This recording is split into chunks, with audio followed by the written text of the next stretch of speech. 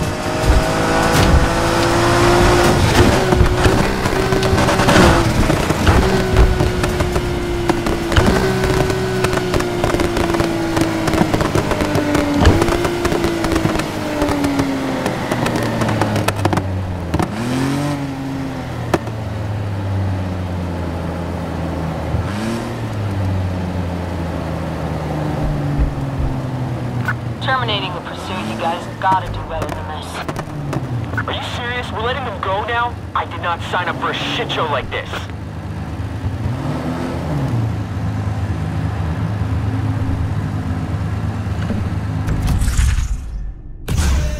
Now you're really getting noticed, huh?